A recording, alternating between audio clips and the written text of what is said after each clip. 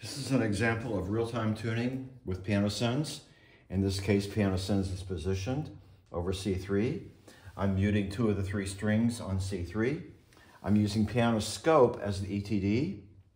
PianoSens will work with any ETD that accepts an external microphone input. All the ones that I'm aware of will.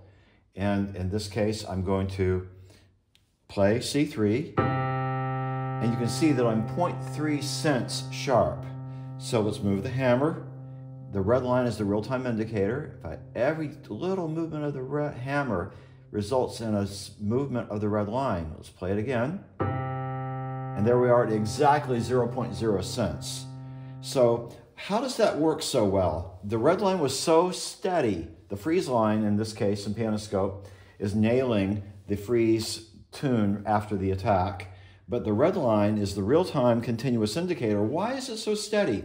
We're bypassing the entire acoustic system of the piano. We're converting a hammer hitting the string, directly moving the string. We're reading the movement of the string directly into electrical current. The PianoSens interface is converting that into a digital signal and going into the USB or lightning port of the device. So what happens is we're not getting any of the acoustical reflections and interferences going on, so the indicator is extremely steady, extremely accurate.